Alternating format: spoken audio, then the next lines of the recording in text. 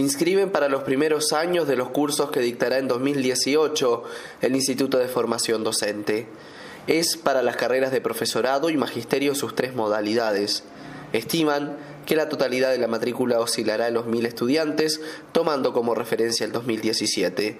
Otros detalles son proporcionados por el director del mencionado centro de formación, profesor Humberto Martínez estamos con inscripciones para primer año, no reinscripciones, solamente para primer año. El periodo se prolonga hasta febrero, hasta el 20 de febrero. Estamos, repito, recibiendo en el instituto ya la documentación y la inscripción correspondiente por la página web. Es decir, el proceso consiste en ingresar en la página web, en eh, la página del Consejo de Formación en Educación, efectuar la inscripción y después de hecha la inscripción, venir al Instituto de Formación Docente con la documentación a entregarla. A veces, y esto es bueno decirlo, a veces aparece algún tipo de dificultad para efectuar la inscripción vía web y en ese caso los funcionarios del instituto con mucho gusto los van a, van a asesorar a aquellos que sientan la llamada, la vocación por, por la enseñanza a eh, completar esos, eh,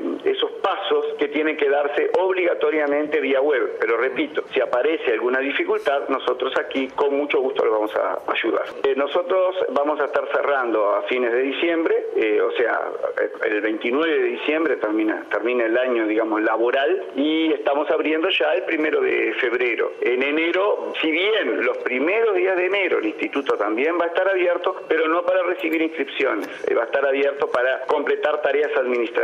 Así que, de todos modos, aquellos que quieran inscribirse pueden hacerlo durante enero en la página web, o sea, completar esa parte del formulario y luego traer la documentación los primeros días de febrero. Lo que nosotros eh, insistimos todos los años es que no se espere a los últimos días. En el momento que hayan definido su